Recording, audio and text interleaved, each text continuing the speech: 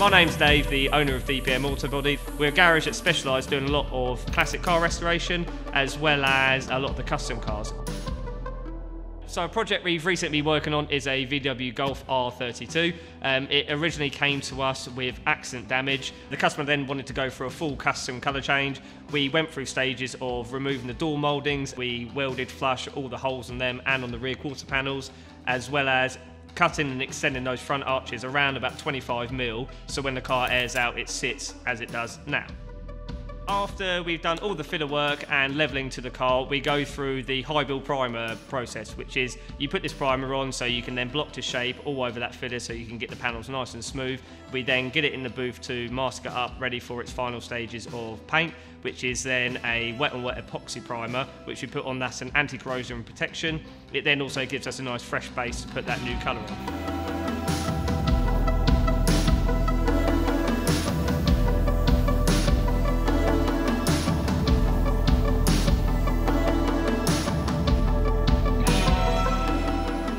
Then get onto the exciting stages of applying the new colour. So the client for this has picked Porsche Oak Green, which is a dark green metallic.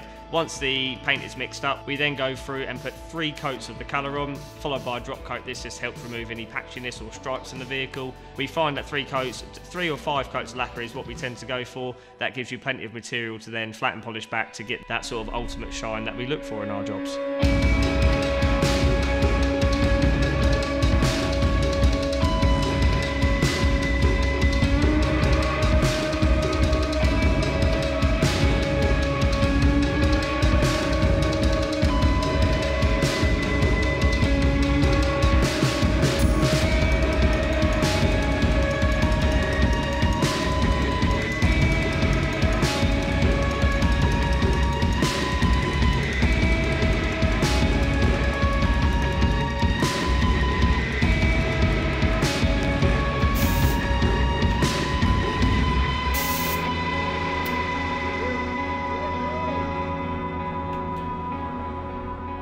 So, after the paint process, we move on to what's called flattening polishing. This is the process to remove all the orange peel from the paint job you've just done. We are going to be using a 1500 grit by DA, followed by a 3000, and then polish it up from there. This is a process we find so important because it gives that overall finish so much more depth.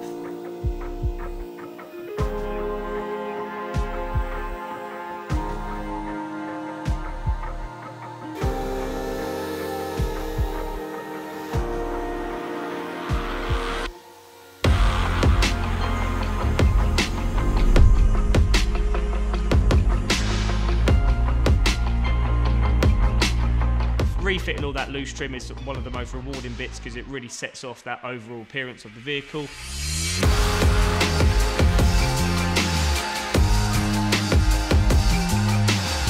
The client's also gone for some little finesse touches on the inside. We've colour coded the backs of his seats as well as repainting his air tank and airbrushing on our logo.